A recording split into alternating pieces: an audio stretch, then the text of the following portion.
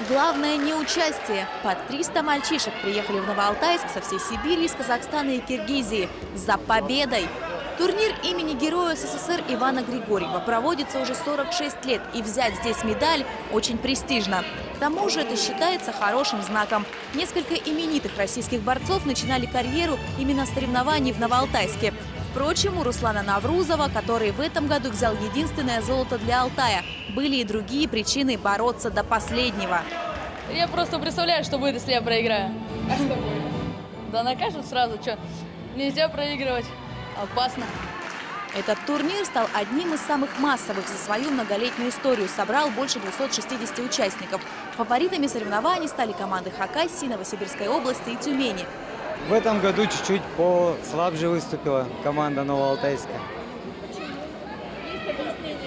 Объяснение? Ну, ковер круглый. И всегда побеждает сильнейший. Небольшой спорткомплекс «Алтай-вагона» в эти дни стал похож на муравейник. Шум стих, когда появился Александр Карелин. Показалось, что он пожал руку, сфотографировался, дал автографы напутствие каждому, кто был в зале. Борьба классическая или греко-римская, она ведь учит чему? У нас очень прикладные навыки, руки, хваталки, ноги, топталки. То есть мы можем иметь очень хорошее приложение там, в бытовых каких-то историях. Передвигать мебель, например, э, копаем хорошо, рубим.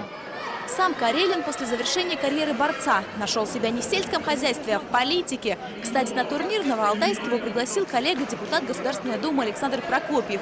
Незадолго до турнира директор местной спортшколы Юрий Гудочкин рассказал ему о проблеме. Оставить ее без решения было невозможно.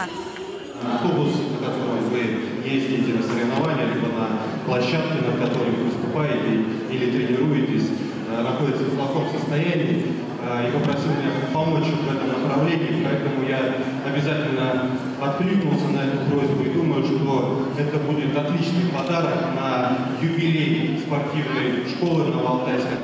Новый транспорт подготовят и передадут ДЮСШ Новоалтайска к августу.